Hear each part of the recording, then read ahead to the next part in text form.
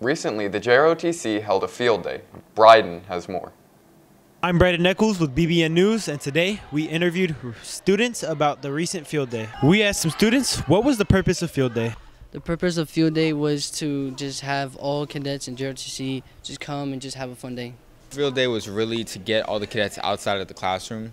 A lot of them spend their times in the classrooms bored and you know annoyed. We wanted to take them out for a day and just have some fun.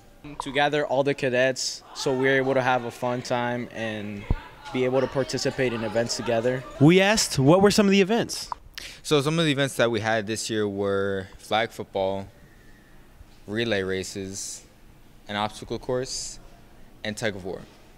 We asked some students how well did the event go. It went pretty smooth, but in the beginning we had some minor difficulties. For our first year doing the event, I'd say it went pretty well.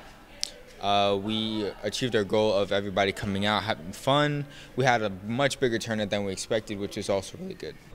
I would say most of the events were went really well. They were organized, most of them, and we were able to coordinate everything so it can run, run smoothly and everybody, you know, have fun, do their own things. Um, I think it went pretty well. Um, we had a lot of cadets and they had a lot of fun, and um, they also like bonded well together, made some new friends. You know, it was it was really cool. We asked what could have been improved. I definitely say that we can do more planning next time. We can have more events, even have more cadets come out next year. Um, when setting up the the the events, everything needed a little bit more of organization.